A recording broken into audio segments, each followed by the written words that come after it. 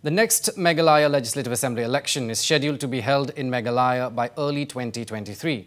While things are shaking up in the political sphere like never before, the excitement and anticipation all roll into one. Well, Northeast Live heads to Meghalaya to test the waters ahead of the polls. Here's a report. With the Legislative Assembly elections just around the corner, the political scenario in the state of Meghalaya is warming up by the day. Now, from pot shots to mergers, the 2023 elections will be nothing short of dramatic. Now, will the MDA coalition retain its power, or will the new entrant, the TMC, spring up a surprise? Who will be the kingmaker? A lot of questions blowing in the air. On our quest to bring you all the lowdown from ground zero, we turn our attention to one of the biggest developments in the state that has made headlines. A dramatic turn of events when the five Congress legislators decided to support the ruling NPP led MDA government, leading to their suspension by the Congress High Command, and needless to mention, the widespread speculation of where they might be heading. Well, I caught up with Miss Ampareen Lyngdoh, who is the former minister and the suspended Congress MLA, to clear the air once and for all. Let's take a look. First of all, Miss Ampareen Lyngdoh, welcome to Northeast Live. Allow me to revis revisit the time when the five Congress legislators decided to make the announcement public, and of course, when they lent support to the MDA coalition here in the state. And what followed was the AICC suspension. What I felt was you were taken aback, and then to a certain extent, a little bit bitter. Am I correct? Uh, we were bitter, not really bitter, we were a little surprised. We were caught by surprise because prior to going to the MDA, there was a thorough in house uh, debate on this matter. There were in house discussions, we had debates, we had raising of hands, and it was a collective decision where all members concerned at that point of time were a part of that meeting.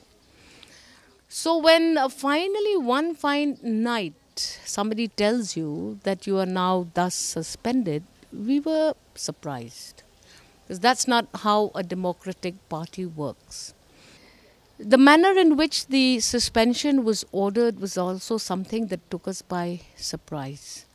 Usually, elected members, constitutionally by the constitution of the Congress party, a local authority should not have suspended us. They should have sent our case to the highest body of the Congress we are elected members. We are not ordinary citizens. They've decided not only to suspend us, but very strangely, the state Congress party has decided to even announce a list of candidates 10 to 11 months prior to an election, which is again an unprecedented approach to declaration of party ticket.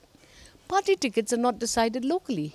One fine day, I wake up and I'm told that there's a candidate of the Congress parading the constituency saying he's the candidate. So you can imagine how shocked a senior member like me would be. I remain a Congress till the last day of my service. Nobody can take that away from me unless you expel me, which again the, gov- the, the, the Congress is refusing to do. My follow up question to you is out of the five uh, legislators, you know, some of them have claimed that the AICC has a different point of view as compared to the MPCC, right? So has the AICC gotten in touch with you or even, you know, spoken to you about the state of affairs within the party itself? Uh, strangely enough, we are still receiving communications from AICC. So if you're asking me if there is a gap between state action and central action, yeah, there seems to be indicators of that lapse. Now, if you're asking me whether I'm in touch with the AICC, I think the AICC has become too engaged in its own internal affairs at this point of time to even bother about the status of one small MLA in a small state called Meghalaya. I, I don't believe in the politics of backlashing because I went to the Congress way back when I was 16, 17 years old. I've been with the Congress since my Seva Dal days. So, really surprising, but heartbreaking. But Nobody will wait for the Congress to take a decision. Politics is very constant and instant. You cannot wait for any high command or low command, state command or central command to take a decision. I have elections in 23, so I have to take a call quickly. And Miss Lyngdoh, this time, fighting the elections for you is different as compared to other elections you've done because of what's transpired with yourself and the Congress, etc. Do you think that would be a setback, if at all? No election is different. All elections are same. You may uh, say that certain elections about are about uh, you know my position of support in the in the constituency. Certain elections were about my opponents and the strength with which they seem to have had. This time, my elections is a little different only because I will likely not be given the uh, the, the, the, the, the opportunity to represent the Congress once again. So I will be shifting my, my party uh, because of the situation that I am in. So, yeah, so this time others may think that, uh, you know, I am, I am uh, likely to change parties because of the circumstances, or I will be forced to change parties because of the circumstances. But I think my people don't look at it that way. I think they're looking at uh, my leadership, for which I'm very grateful they're looking at uh, the constant factor in the politics, which is the candidate. Nobody's really asking me why, which party, why you're going to that party, are you going to that party. Mm. So these are the kinds of uh, indicators that I'm getting out of my campaign. I think that rather see me there rather than which jersey I wear. This is the kind of information that I am collecting on the ground. So, questions on people's mind. Why is Miss Ampareen Lyngdoh taking so much of time to decide on where she's heading next? Considering the fact that you're a seasoned politician, you would know your people very much.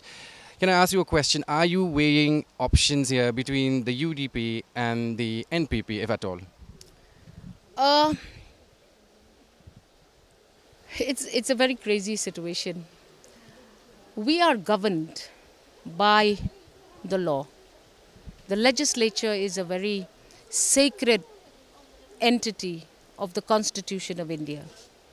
And I respect that entity. I cannot be seen to be whimsically declaring my decisions when I am governed by the Constitution. And I will not freely and frankly discuss my um, uh, loyalty other than the Congress till the time is right. Politics is a very serious, dedicated business, and hence I will refrain from disclosing my destination ahead of time prematurely and getting into other controversies because for some strange reason, a lot of eyes are on Ampareen and any mistake I make will be made a controversy again. So I will take my time because the system allows me to take that time. As of today, I am Congress. Ms. Lyngdoh, let me hear it from you. Irrespective of whatsoever party you join, will the roadmap to the 2023 elections deviate from what you've been doing religiously every election or maybe every year, like you said? Nothing deviates. Doesn't matter which position I will hold. Doesn't matter, you know, the consequences of a change in party. I am here to serve my people. I will continue to serve my people. I will continue to work hard against all odds. I will have to try to ensure that I'm able to consolidate support in my constituency so that once again, for the fifth time, I can go to the assembly. So I think confusion will be there, but if every candidate reaches every doorstep to explain the situation, I don't see why there should be any change in support. Thus far, I have traveled. It has taken me two years to reach every house. So I will try to tell my people choose the constant, evaluate the variables, hmm. and go where you think you will find an individual who's concerned about your well being, who's trying her best to do the best she can, and visibly look at my constituency and the changes that you see around it. So I'm happy. Well, fair enough. I want to dwell a little bit on the TMC for a simple reason because they are making inroads in other northeastern states, Tripura, Assam for crying out loud, and now they're here. And that too under the leadership of yet another towering politician, the former Chief Minister himself, Dr. Mukul Sangma. And going by your logic, that of course the candidate matters in every election, should you worry? Should other political parties worry? See, I am very clear. The reason why I didn't follow my erstwhile leader, Dr. Mukul Sangma, to the TMC is very clear. What does the TMC want to do in my state? Somebody has to tell me clearly. What do I have in common with West Bengal? And if West Bengal is trying to tell me you shift your headquarters of this nation to West Bengal, then you should go beyond elections. I have no issues about a political party trying to make inroads in the northeast or in other parts of the country. But if you're coming to me, then you tell me and convince me first. What are you going to do with me? If hypothetically I take your ticket and I land up in the opposition, are you willing to give me some funds from your state government, exchequer? Will you support me? So, what the TMC wants to do in Meghalaya is still very unclear to me. I had asked them clearly if the TMC was willing to give me 100 crores per year, 500 crores into five years, I don't mind going. But is that going to happen? Can politics, whether in the national level or at the state level, can politics be clean? Ah, tough question. We all aspire to have a transparent, clean, robust government. But at the end of the day, you look at the factors that play behind the politics. Everybody tries to make an extra buck. Everybody tries to bend the rule here and there to try and accommodate the demands of the work that we are all engaged in. So I will not comment, I will refrain from comment, but I will observe on my understanding of what is this clean politics that everybody is looking for. Because to cleanse a system, you need to start from scratch. While Miss Ampareen Lyngdoh is hell bent on letting her people help decide where she will go next with her next course of action, we got some reactions from people from her constituency to find out their suggestions. Uh, whichever party she chooses, we as her voters are willing to follow her wherever she goes. Which party do you think would best suit would be best suited for her? NPP. Party here doesn't matter, I think, mm, because uh, the people and his work is our heart. Uh, how genuine you are. Uh, that, that, that's the matter. It depends on the people. The people also, eh, it's up to her also in which parties want to go. Once a formidable opposition with 17 MLAs, the Congress was left with only 5 MLAs after 12 legislators, including the former Chief Minister Dr. Mukul Sangma, defected to the TMC last year. Following which, the 5 MLAs Ampareen Lyngdoh, P.T. Sawkmie, Meral Bons Aim, K.S. Marbaniang, and Mohendro Rapsang joined the ruling MDA, which is backed by the BJP. Interestingly, only the TMC occupies the opposition in the Meghalaya Assembly. The fate of the five Congress MLA is uncertain as of now. With video journalist Francis Marbanyang, Aaron Lyngdoh for Northeast Live.